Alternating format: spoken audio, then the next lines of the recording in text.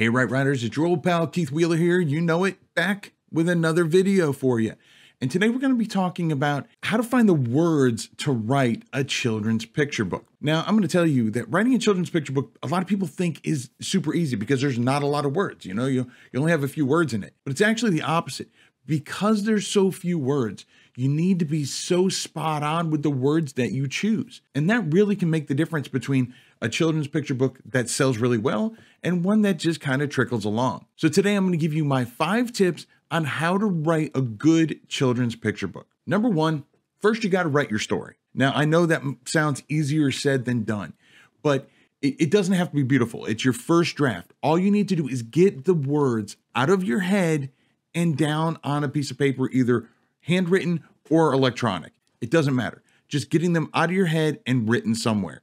Doesn't have to be complete sentences. It just needs to be a way for you to write down and just put visually what you have in your head to paper. Now, this may be the part that takes the longest amount of time because you, you, you want to try to, you know, your editing brain wants to kick in and you want to try to, to make it perfect. Don't. Done is better than perfect when it comes to this.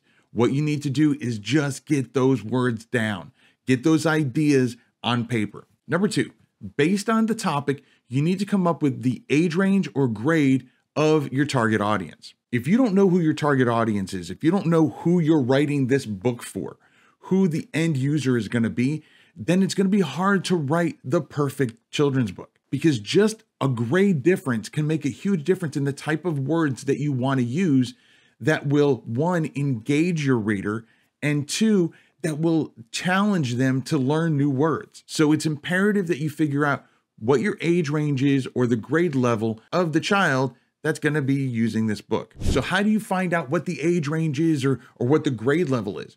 Well, the easiest way to do that is look at your competition. So go online, go on Amazon and other marketplaces and search up other books that are comparable to what yours are. I mean, don't worry about Dr. Seuss and, you know, books like that because those are those are more broad because it's nostalgia. It's not actually for that particular age group. So focus on books like uh, Goldilocks and the Three Bears and and books that you've read as a kid as well as just books that you find uh, just by searching the marketplace. And by looking at the theme by looking at the the topic of that book is it something that you think would be around the age range of what you're looking for? Then you can go into especially if you're on Amazon you can go to the marketplace check out the look inside feature see if you can read a couple words from it you know the couple pages and see if that's the kind of story that you're looking for as far as the the age range that it's targeting. If so you can go down to the uh, a little bit further down in the product description and it'll typically tell you what the age range is or the grade level which leads me to step number three which is read other books for that age range or grade level. You want to get an idea for the themes the words that are used and the number of words that are used per page and per book again this will help guide you in in what your target audience is used to the important thing is that the ones that you're reading and the ones that you're using as a gauge, make sure that they have a decent BSR, bestseller rank, meaning 100,000 or less. And that tells you that these books are selling pretty regularly, which means that what the content is, is what your potential buyer is used to seeing. And so that way you know that you're on the right track. Okay, so as of now, you've done the hard stuff you've written the first draft or rough draft or at least an outline, right? Gotten those words out of your head and down on paper. Then you've gone in and you've you've figured out what the age range or grade level is for the book that you want to write. Then you've gone in and you've done your due diligence and you've read other books that are targeted to that audience so you can kind of get a feel for what kind of themes and and what words and and length of words that people are expecting in their book for that age range or grade level. Well, the next thing you want to do is you want to take it one step further. And this is something that I do that a lot of people don't do when they're writing picture books. And I think this is where they're really failing. And that is you want to go online. You can just Google this up, do a little Google magic, and look up. They're called sight words, S I G H T words. And you'll put sight words for whatever grade level or age range that you're targeting. Sight words are what they call it in English class or grammar class. These are the words that the kids in that grade level are supposed to know by sight, just by seeing them, by the end of that year, by the end of that grade. And so this tells you what they're learning. These are the words that they're learning, these are the words that they're going to get familiar with.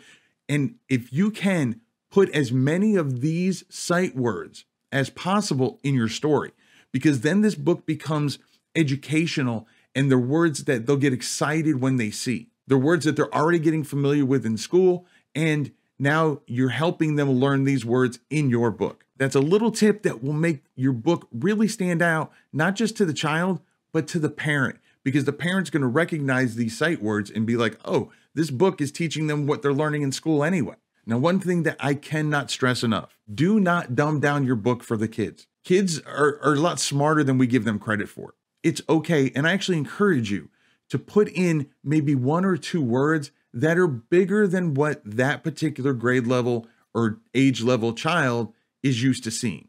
It's okay for them to learn an extra word or two. I wouldn't go more than two because that can become frustrating for the child if they have to keep, you know, figuring out these harder words.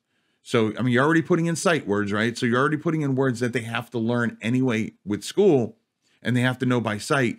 So just putting in one, maybe two words that are a little bit heavier, a little bit longer. So maybe words that, let's say your book is for, you know, grade two, then maybe look up some sight words for grade three and take maybe one or two of those words and put those in your book as well, assuming that they fit. I mean, you don't want to just, you want to jot these down because you haven't written your, your final draft yet, right?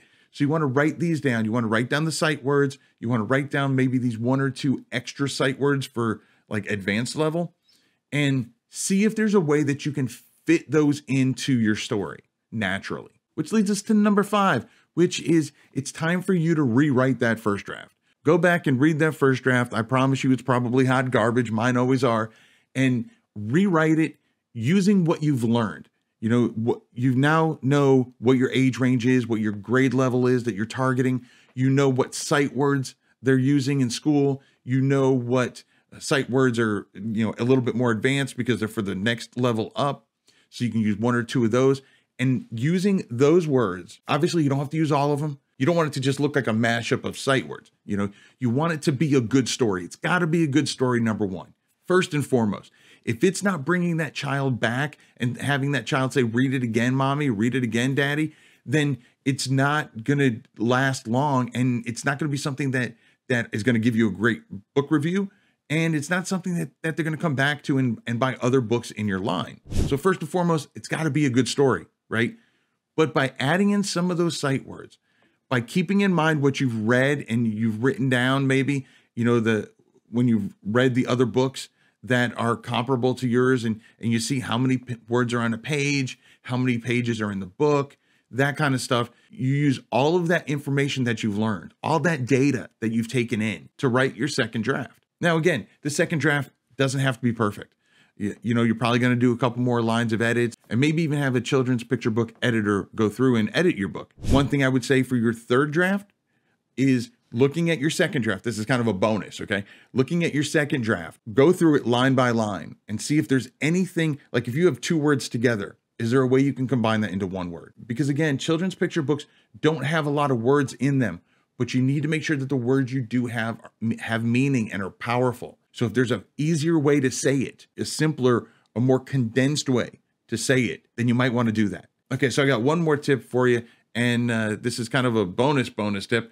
If this is your first children's book, don't try to rhyme. I mean, if it comes natural, that's fine. But there's a reason why Dr. Seuss made up all those words because it's hard to rhyme. It's hard to rhyme and keep a good rhythm because you have to remember just because when you're writing the book and you're reading it back, you have this rhythm in your head, that rhythm has to come natural to the person picking up your book.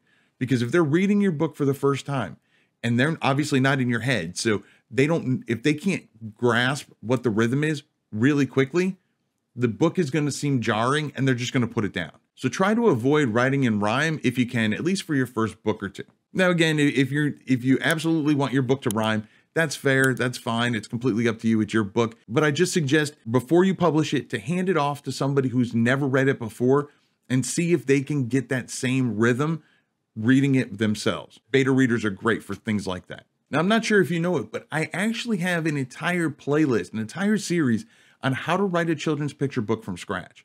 You want to check it out, it's right here. And I've got so many positive comments from these videos. And you can even get your hands on the checklist that I use when I'm writing all my children's picture books. But if you've already seen that, or maybe you're just not ready for that playlist yet, well, then YouTube says this video right here has got your name written all over it. I'll catch you in one of these videos. And remember to write right.